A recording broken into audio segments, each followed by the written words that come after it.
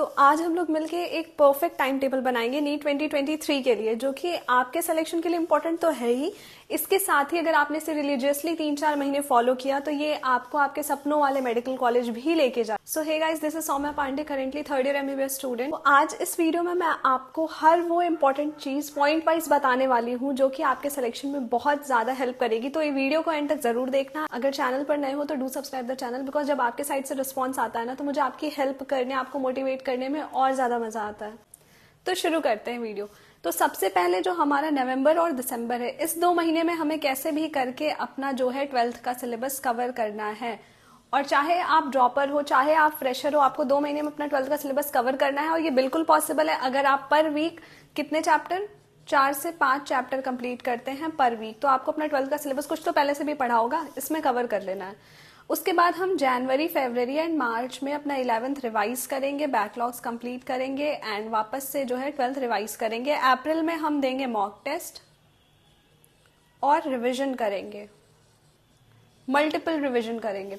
तो ये तो हमारा पूरा प्लान हो गया। अब देखो नवंबर दिसंबर में ट्वेल्थ पढ़ते वक्त इलेवंथ को बिल्कुल छोड़ना नहीं है। इलेवंथ में कुछ चैप्टर्स ऐसे होंगे जो बैकलॉग की लिस्ट में होंगे हमारे, उनका हमें क्या करना है? तो हमें क्या मिलेगा? हम मान लेते हैं चार संडे एक महीने में हमें मिल रहा है तो हमारे पास दो महीने। इन दो महीने के जो आठ संडे हैं, उन आठ संडे में हमें क्या करना है? हर एक संडे एक ऐसा चैप्टर जिसका नाम सुनते ही आपके सामने अंधेरा छा जाता है, उस चैप्टर को उठाना है, उसके लेक्चर वन शॉट लेक्चर देखने हैं और नोट्स वगैरह पढ़ने एनसीआरटी और पीवाई क्यूज उसी दिन कर देने हैं और एक दिन अगर आप बैठ गए ना जम के तो खत्म भी हो जाएगा। तो हम ये करेंगे एट संडे में अपने एट बैकलॉग वाले चैप्टर खत्म करेंगे। देखो, पढ़ना तो पड़ेगा यार, इसमें कोई एक्सक्यूज नहीं दे सकते। तो ठीक है, ये हो गया हमारा मोटा मोटा शेड्यूल अब हमें माइनर देखना है कि अब हम टाइम अपना मैनेज कैसे करेंगे। तो देखो माइनर लेवल की बात करते हैं तो टाइम मैनेजमेंट पहले तो वो सबसे 24 घंटा सबके पास है। 24 घंटे में 12 घंटे चाहे अभी पढ़ लो, चाहे लास्ट में पढ़ना तो ये बेटर है कि अभी 12 घंटे पढ़ लेते हैं एंड में टाइम बचेगा तो उसमें हम मॉक टेस्ट ज़्यादा से ज़्यादा देंगे। तो इस 24 घंटे में से 12 घंटे तो माइनस कर दो, जिसमें तुम्हारे सोने और खाने वाने का निकाल दिया। अब बचे हमारे पास 12 घंटे। इस 12 घंटे को हम डिवाइड करेंगे चार स्लॉट में, ठीक है? पहला स्लॉट है थ्री आवर्स का थ्री आवर्स का थ्री आवर्स का। ये चार स्लॉट थ्री आवर्स के हो गए। अब ये कैसे करेंगे? मैं बताती हूँ। देखो तीन तीन स्लॉट जो है, वो तुम्हारे तो तीन सब्जेक्ट ले जाएँगे। फिजिक्स तीन घंटे केमिस्ट्री एंड बायो और लास्ट का थ्री आवर्स का जो स्लॉट है, उसमें हम करेंगे सेल्फ स्टडी तो अब इसमें किसमें हमें क्या करना है, कितना पढ़ना है, ये देखते हैं। तो देखो फिजिक्स में अब इस स्लॉट में हम करेंगे क्या? थोड़ी बैकग्राउंड नॉइज़ आ रही होगी, उसको अवॉइड करना। तो देखो, इस, जो हमें तीन घंटे के स्लॉट है, इनको हम किस तरीके से यूज़ करने वाले तो आओ देखते हैं। जो हमारा तीन घंटे है, पहले तो हम फिजिक्स केमिस्ट्री और बायो वाले जिस तीन घंटे में हम ये पढ़ेंगे इन स्लॉट्स की बात करते हैं। तो डेढ़ घंटे से ज़्यादा लेक्चर चाहे आपकी ऑनलाइन कोचिंग हो या ऑफलाइन कोचिंग हो या आप यूट्यूब से पढ़ रहे हो, आपको नहीं मिलेगा।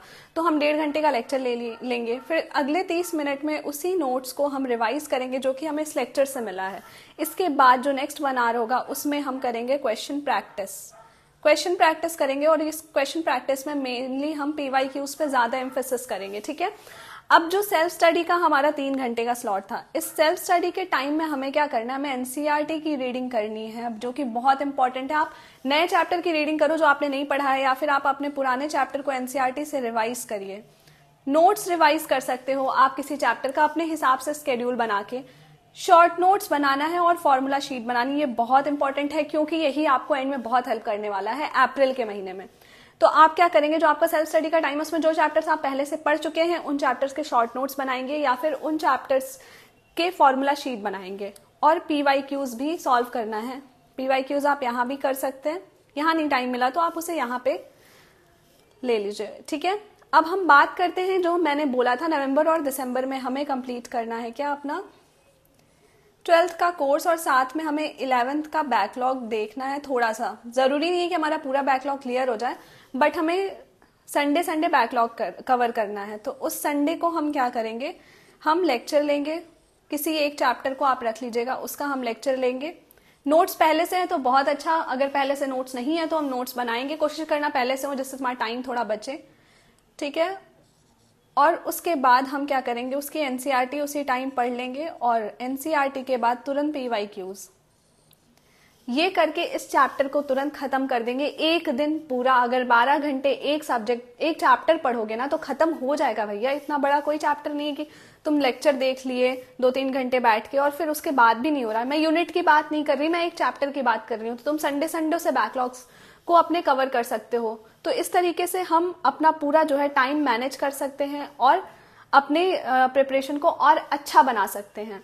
तो इससे इसके अलावा और कैसे पढ़ना है क्या टाइम टेबल हमें और फॉलो करना है डेली टारगेट्स आपको मिलेंगे टेलीग्राम पे तो इन सारी चीज़ों के लिए do follow my Telegram channel and do subscribe the channel आगे आने वाला जो टाइम है आपका नीट का उससे आप उसके लिए आपको इस चैनल से बहुत ज़्यादा हेल्प मिलने वाली है। सो so, चलो फटाक से पढ़ाई करो और टेक केयर बाय बाय